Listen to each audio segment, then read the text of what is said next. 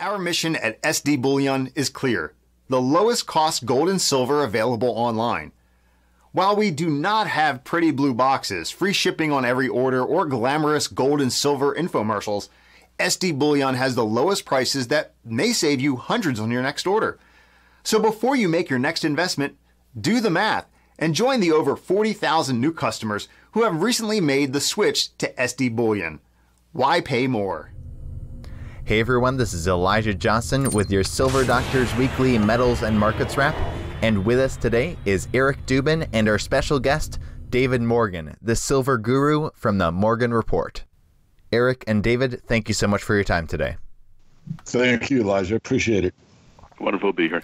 All right. Well, why don't we start off with this week's action in the precious metal markets. Gold broke through 1300 on Monday, and today, Friday, it seems like gold and silver are spiking. What is your take, David? Well, we did break through the 1300 level as people that have been, you know, following my work, primarily the, you know, paid members, but, you know, I do a lot in the public domain.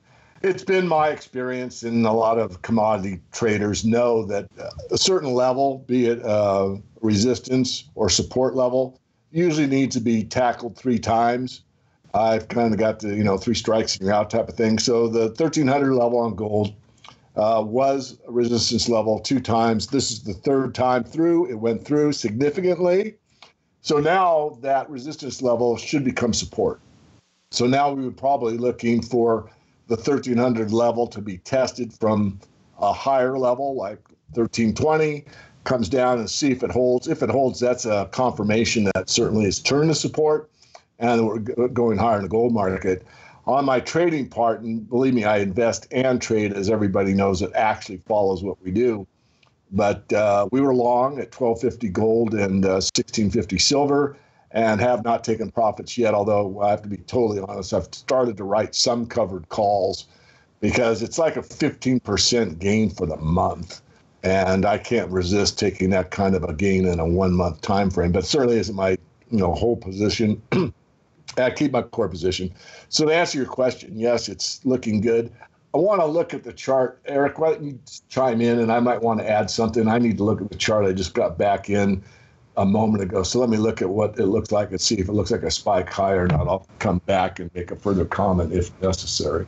Sure, and and I can pick up on what Dave was saying too, just by giving a little bit more of a you know bigger picture historical perspective. You know, we had a huge move in 2016, particularly in the in the gold and silver equity space, but gold and silver did really well too. I mean, gold was below 1050 in the end of 2015, going into the new year last year and we shot over 1375. So you know, that's a pretty big move, and everyone got excited after four or five years of just being in the doldrums and the manufactured uh, end or part or short-term end of that bull run that we had all the way through 2011.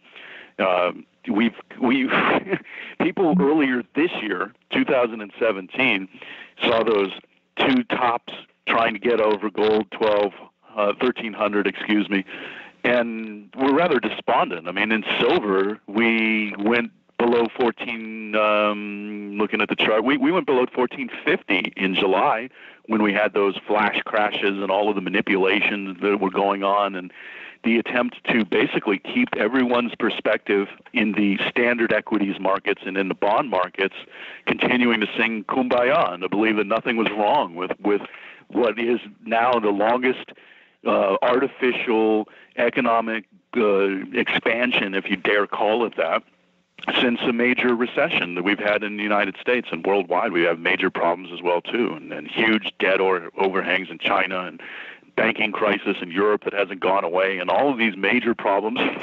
this week, we have the debt ceiling crisis coming into focus, and people are waking up again to the reality that financial markets are not all as they seem, and we've had the highest level of complacency in markets, in my opinion, ever.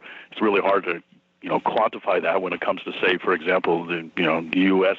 equities market. But suffice it to say, when you look at things like the way the VIX has been trading, the Standard Fear Index, the long duration of like 40% or 40 degree angle move in a chart on the S&P 500 for years on end with no, you know, perturbations beyond 12% downside periods other than things like Brexit or what have you. I mean, these markets have been so artificial, and we made the point many a time too. When you have 150 billion dollars plus coming into the worldwide markets from central banks every month, you know, you know this this can't go on forever.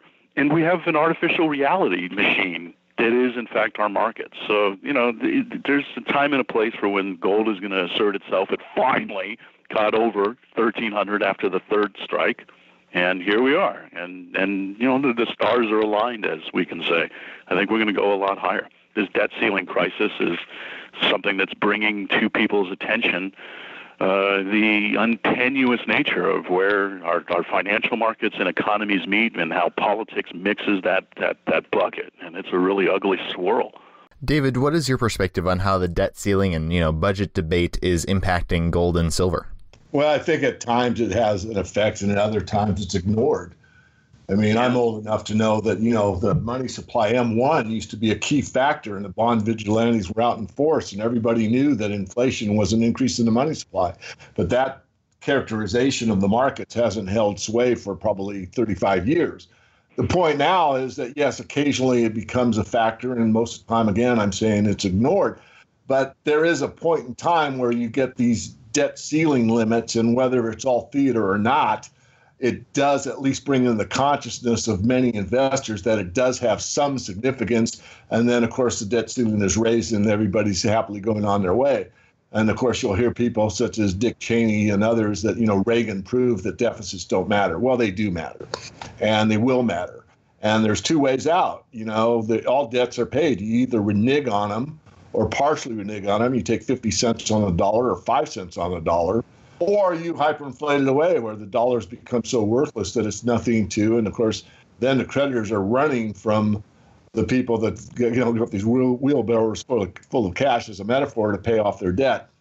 It's not going to end that way, in my view, but it does bring it into focus. And this is something that I think is heading into uh, perhaps uh, an inflection point because not only have you got the debt ceiling coming up, but you have a very, very divided uh, situation politically. You've got a bunch in the mainstream that basically are uh, anti the president and uh, make it their daily practice to put as out as much negative hyperbola as possible.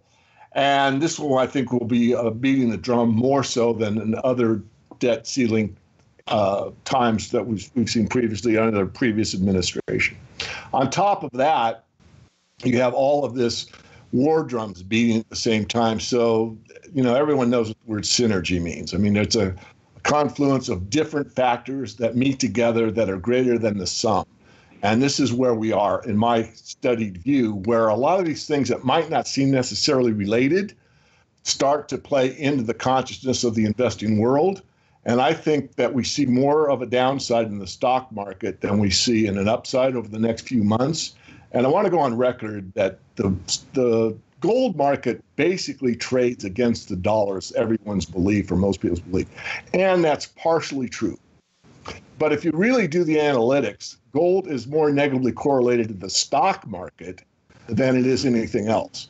And what we're seeing with this breakout is two things. Not only have we've gotten through the 1300 resistance, it looks like silver is going to confirm it today. We also see that the shares are leading the bullion for the first time in a while. That's a very bullish indicator that this move up has legs and is going to go further. Not that it's not going to go up and down, not that we're probably going to test the 1300 level. It might not hold. I don't know yet. What I do know is the shift between in the smart money world, call it the manipulators, if you will. And Eric, I'd like you to comment further once I'm done here in a second, that the smart money's moved out of stocks. We are have been in a distribution pattern. The markup has occurred. Everybody's feeling really great about owning, you know, the DJI or the FANG stocks or whatever. I think that's going to come to an end, and that you're going to see gold reassert itself as it is doing now. So the big shift, I think, finally, after years of agony for precious metals investors, is taking hold as we speak yeah, there's so much there to to link into. I don't even know where to begin. There's a, there's. I totally agree with Dave's perspective on the stock market. I've been speaking to that all year, and and and towards the end of last year, that this year we're going to see this long duration artificial move come to an end. Uh, it would have come to an end previously if it were not for all of the QE that was dumped into the markets and the 150 plus billion that's been coming in every month is, is what has elevated our markets. Um, but fascinatingly enough, it looks like people are finally uh, giving up the ghost and, and looking at how the markets have been trading, looking at how uh, the leading generals with the FANG stocks that, that Dave mentioned uh, does indicate that, that the momentum, brainless chasing of "don't fight the Fed" ideology that was driving a lot of people, and the and, and computer trading as well, and copycat trading with portfolio managers who want to make sure that they're participating in what is moving up so that they look good compared to their competition. All these kind of um, you know patterns that you see at the tail end of a bull market where people just kind of turn off their brains and just ride the bucking bronco as it moves higher is beginning to fade. And that's the kind of thing that you will see at the tail end of a bull market. We saw you know bullish percentage in the S&P 500 come down from like above 76 last uh, or two months ago down crashing all the way down to 64 percent. You know, it's a 12 point move in 30 some odd days by the end of mm, you know third week of August or so, and that shift is is is people beginning to price in the kind of expectations that the markets will in fact see some some downside action going forward. And historically, Dave's right too. The the correlation between gold and the standard equities market is a lot stronger than the correlation with gold and, and the dollar but the dollar is also going to be giving uh, a lot more of uh, tailwinds to precious metals too, because this debt crisis feeds into the political uh, expectation that the, the, you know the confidence in the United States is not as strong as it was even a year ago. I mean, you can look at measures like uh, the comparison between the sovereign debt risk of German bonds versus the United States, and now we actually have a default risk that's on par with uh, above where it was all the way back until um, 2009, right after the peak in 2008. So you know the the markets are expressing what's going on. If people only see um, what they you know choose to look at, they can ignore the the the, the signals that are coming from the markets and, and ignore the fact that we've had a nine plus year uh, duration move with false um, impetus to the economy to hold it up and, and the markets being held up. But these kind of things don't go on forever. And at some point, the markets are going to break. We have barely seen any major correction, and that's not going to remain the way we're going to go forward. I think within the, the balance of this year, we will see a 10% correction in the S&P 500. That's going to send gold probably over 1400 moving back to the precious metal markets, uh, if I can get David's perspective on this, what are some of the price targets we should look for going forward? Would thirteen fifty is that a really important price point for gold? Oh, I'd have to look, uh, Elijah, but yes, I mean, you know, the support resistance levels are, you know, more of an art than a science, although some of them are very apparent. The 1300 was extremely apparent. You know, all the years I've done the futures thing, I mean, round numbers are very significant to all commodities. But I'm not too worried about, um, you know, where the next resistance level is. I think I'm, it's more important to know that 1300 support needs to, will probably be tested. If it holds, that's very bullish. Also, I think it's more important to understand the fundamental that we've probably seen the shift finally, where you know stocks down, gold up.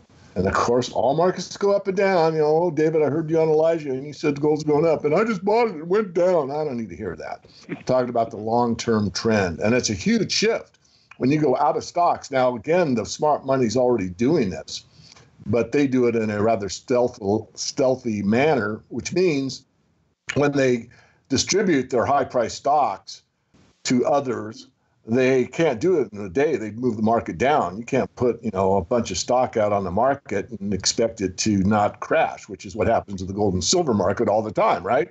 Oh, I got a billion ounces to sell right now. Or what happens to the price? It crashes. Everyone knows this that has an, a modicum of understanding about how markets move.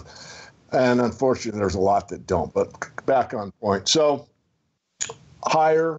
My let me state my biggest concern, and that is that there was a very strong seasonality for years going into the fourth quarter that was positive for the precious metals and mining shares. And that turned around about five years ago. Eric might yeah. say it's four, and I don't care. But the point is that we for consistently got the worst print for the year on the last trading day of the year, which is very easy to do in a small market and all the traders are gone on a holiday. So you don't need much juice or much cash to move the market whatever direction you want. And so this was a big change for someone that's watched this market for the number of years that I have to see that happen year over year. So I'm a bit concerned this year that uh, we might not see that take place. I doubt it. I mean, I'll put my neck out. I certainly am good at that. And I think the shift, as I'm saying right now, has taken place or is taking place. I want to see some more confirmation, but certainly everything's lining up. And all the indicators that I use that have real meaning are there and showing so. However, um, you know, those that uh, want to load up at a lower price and could force a market through manipulation might, you know, start moving it down. I do not expect to see the low print of the year come in the last day trading of this year. I want to be clear on that. However, I also want to be clear that there probably will be an attempt. The way I see it at this point in time, and the reason people subscribe to me and others is because those that follow this market that as closely as I do, you know, I'm not afraid to say I'm wrong and move on and say, look, everything I said up till now is moving differently because, and I'll show why, and I'll show my screen and I'll tell them. But anyway, uh, I think we're going to push back into options options expiration in September. And I think what you're going to see at that point, if I am correct, is those that are the smart money are going to move in even stronger and accumulate even more. And you're going to see, you know, a pretty good market. I think the $1,400 level that uh, Eric mentioned, uh, and I'm not sure he gave a time on it, I think that's very achievable by the end of this year for gold. And silver, it's so hard because silver's still lagging I don't like the fact that the gold silver ratio is still in the 70 range. I want it to be below 70. That would be another confirmation point for the way I do my work that, okay, we're, we're on our way. And we haven't seen that yet, but we're getting there. And last, I just have to throw out, you know, our call on palladium. No one follows it. And we talked about palladium being a better value than platinum some time ago. I'm just going to, two years ago in um, in the Morgan report, and I've actually got a pretty good palladium position myself personally. Now, I'm not advocating you don't have a gold position and go to palladium. I'm not saying that at all. It'd be something that's a metals head, such as myself, that would go into the platinum palladium market. But I find it interesting that the spread between palladium and platinum right now is only about forty dollars. And it's also interesting to note that the platinum market has been under the gold market by about 30% for years now. And again, back to my age, you know, for 40 years, I mean, you would see a discrepancy between platinum and gold where platinum momentarily traded for the at par with gold or slightly below gold. It was an easy trade. You'd go long platinum, short gold, play that spread trade and make money every time. That's not been the case here for years in the platinum market. And part of what happened with platinum and palladium was that whole shift with uh, Volkswagen's decision to not use platinum in their catalytic converters and you know the scandal that they had with emissions and all that that that did tweak the market a bit. Um, but it's, it is fascinating to see how much palladium has moved. And is it not uh, the the strongest gainer within the uh, precious metal space? Yes sir it is. Yeah. Um, it, I, I want to touch on something that Dave mentioned with the seasonality because it's it's fascinating to see how we did see that shift many years back, where the you know fourth quarter being traditionally the strongest uh, was more choppy.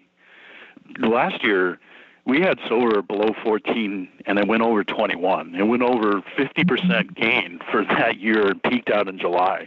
And I think that that that big move coming off of the artificial bear market that was engendered in the market prior to 2016 it changed the perspective on the, the way a lot of traders and investors looked at silver and gold thereafter. And I'm using silver purposefully because uh, it was the biggest mover. It, it set the tone. It got a lot of people excited when it had made that move over 21. Finally, getting over 21, that marginal line at 1850, and then 20, and then 21, and so forth. I mean, we'll we'll we'll be beating our heads against 22 and 25.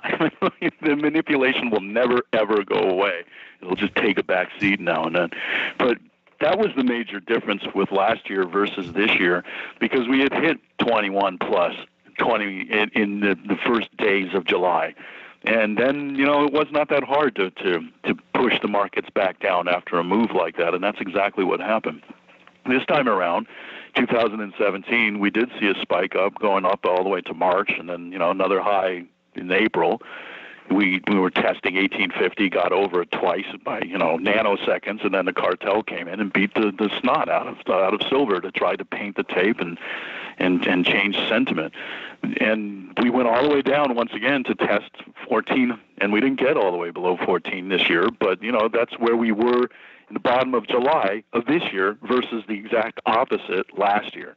I think that if you want to just paint broad brushstrokes and, and how we can look at these two years compared to each other, uh, I think this year is going to play out more along what Dave is suggesting. That we, we, and I agree with Dave as well too. You know, the September period, maybe it's in October, where we see pressure coming into the markets, and we see the manipulation step up again after the the powers that be let the markets run a little bit because they're forced to. Because you know it takes a lot of firepower to engender manipulation downward with creation of naked shorting on the COMEX and games they play on the LBMA and occasionally dumping real physical. I mean that stuff costs uh, effort. It, it takes, particularly the, the physical, when we have diminished vol supply and availability, to actually push prices down.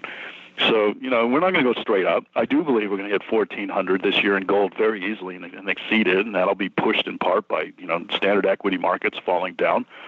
But it's not going to be a straight line. You know, we'll have a hard time getting over 25 even, which is what we've been struggling with now, 313.25.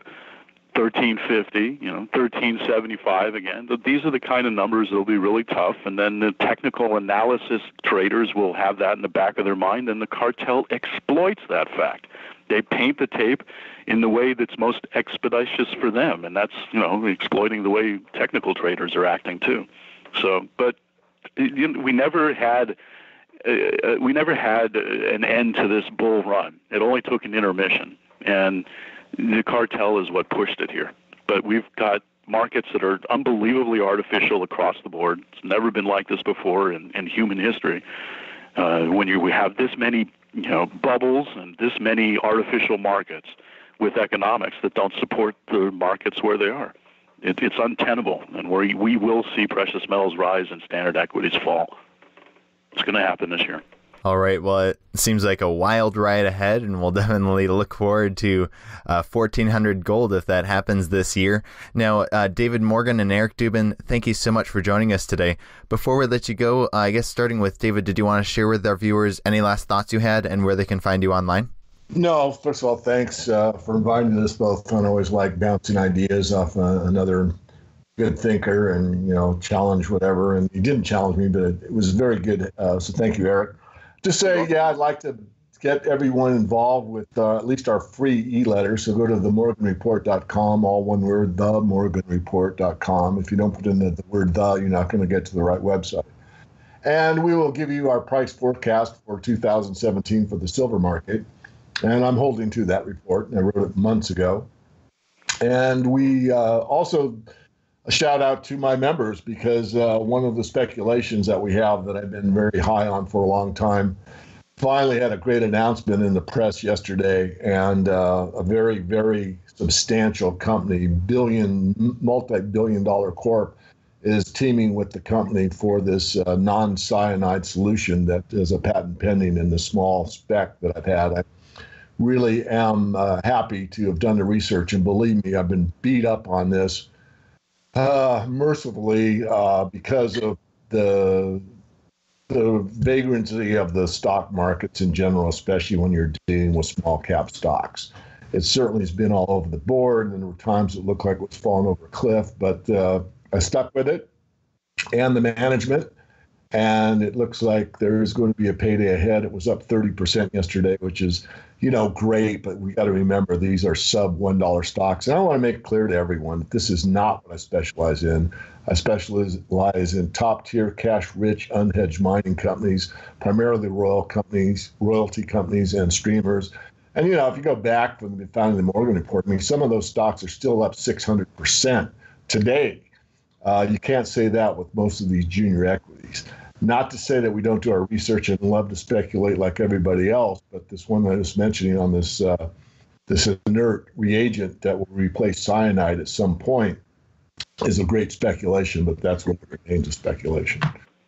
I've been following David's work since uh, 2000, and what I love about the Morgan Report is that he uh, gives a lot of fundamental analysis and understanding of the entire industry and covers all kinds of companies, whether it's the streamers, or lower risk, larger capitalization companies, or special situations, or the you know, juniors. It's it's a great newsletter and a great service. I highly recommend it. All right. Well, Eric Dubin and David Morgan, once again, thank you so much for your time today and joining us on today's SD Weekly Metals and Markets Wrap. Thank you, Elijah.